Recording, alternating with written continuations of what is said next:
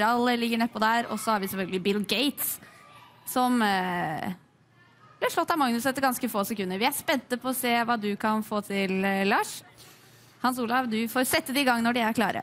Ja, men Det er spennende, dette. Lars er en spiller som har vunnet premier fra sjakk-NM i tidligere episoder, så vi får se hvordan dette blir. Da eh, er dere klare, gutter. Shake hands. Og så kan svart starte Bare-. Ja, bare, ja. E4 på Magnus i dag. Siciliansk fra Monsen. Åpen siciliansk fra Magnus. Da er det aggressive saker og offiserer i spill her. Kjent variant hvor Magnus får en dronning inn på D6. Vi får se hva Lars har planlagt til det. Magnus trekker dronningen tilbake, utvikler i stedet springeren og løperen. Brukt seks sekunder til nå. Monsen har holdt bra fart og fått en grei stilling, så dette kan det være rekordtakter over. Eh, Monsen har nå rokert. Magnus starter umiddelbart en bondestorm på kongefløyen med G4. Det er et poeng at Sort har spilt H6, eh, slik at eh, en plan med G4, G5 blir en farligere angrepsplan. Det er spennende å se hva Magnus har styr på forsvarsstrategien her. Mm,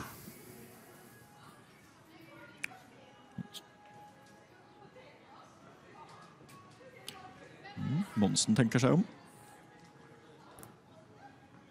Monsen tenker seg om litt lenger, så utvikler han seg. Og Magnus fyker videre med H4 på kongefløyen. Full bondestorm her.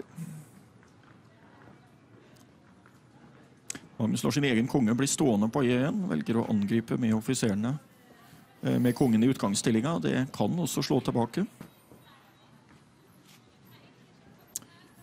Magnus har brukt åtte sekunder. Monsen har brukt 1 minutt og 20.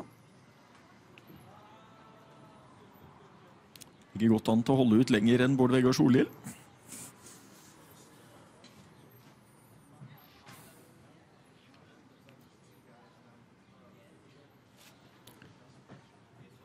Publikum følger engasjert med gjennom glassveggene her.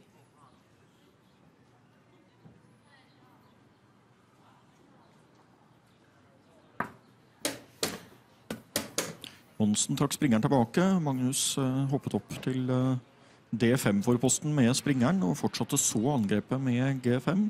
Han nærmer seg kongen, men det er fortsatt en del trekk frem her.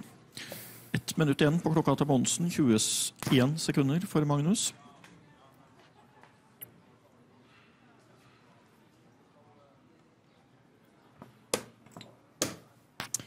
Monsen inviterte til springeravbytte fikk byttet av springeren, men Magnus fikk da slått inn.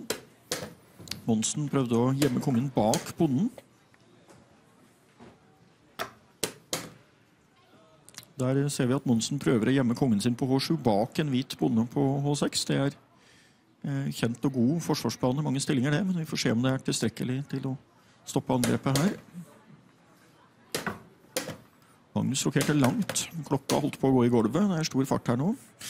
16 sekunder igjen på klokka til Magnus og 16 sekunder igjen på klokka til Monsen, så han må gire opp snart. Monsen har starta motangrep på, konge- på dronningfløyen. For seg. Der gikk klokka i gulvet. Og Monsen bukka dronninga i farta.